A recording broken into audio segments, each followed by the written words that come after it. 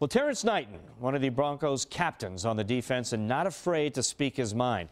Last month, he made somewhat of a Super Bowl guarantee, saying no matter who they play, he expects the Broncos to lift the Lombardi trophy. That's great. Everybody still playing this weekend should expect to lift the trophy. Well, we got pot roast for you like you've never seen before. He sat down with 7 Sports anchor Arran Andersen at one of Terrance's favorite restaurants. Here's dinner with the roast. Terrance Knighton makes his living feasting on running backs and the occasional QB. When he works up an appetite, you'll find him at Maggiano's. People might say, wait, pot roast likes pasta? You like Italian food? I love Italian food. Leave the gun.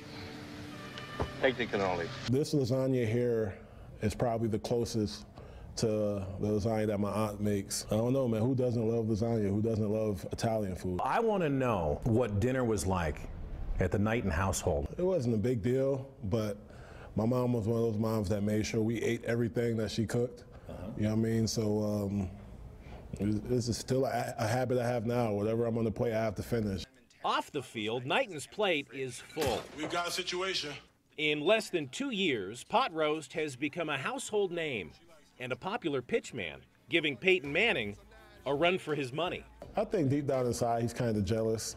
You know, even though he has five or six commercials out, I kind of think you know he, you know he, he wants that to himself, and uh, you know obviously with my great acting in the commercial, you know, uh, you know he he you know he can feel me as a threat. He says that he can't watch himself on those commercials. Me neither. You can't watch yourself. Me neither. It comes on like like I'll be sitting on the couch and like if, if someone's over or even on by myself, if it comes on, I change the channel right away. A free agent to be, Knighton is hoping this offseason he won't be changing addresses. The defensive tackle would like to close out his career as a Bronco.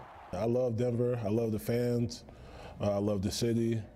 Um, I love the team. I love the locker room, the coaches, just just the whole atmosphere here. You know what I mean? And uh, this this is definitely somewhere I want to be. I don't want to get overly sentimental, but this could be your last game with the Broncos.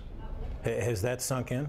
Yeah, I think about all the time. Every from now on, every game could be, you know, my last game as a Bronco, and you know, it, it, it I definitely think about it because it's reality.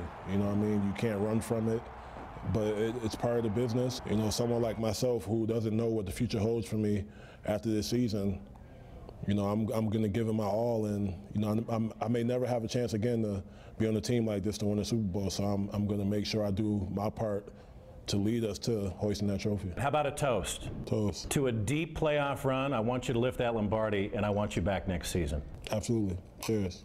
Cheers. We all want that, Arran. Now, Terrance wanted us to mention the Broncos are not under any dietary restrictions. He says when he sits down for an Italian meal, he only eats one whopping piece of lasagna. He's wanted us to say his partner on the D line, DeMarcus Ware, wolfs down two of them. All right, there you go, pot roast.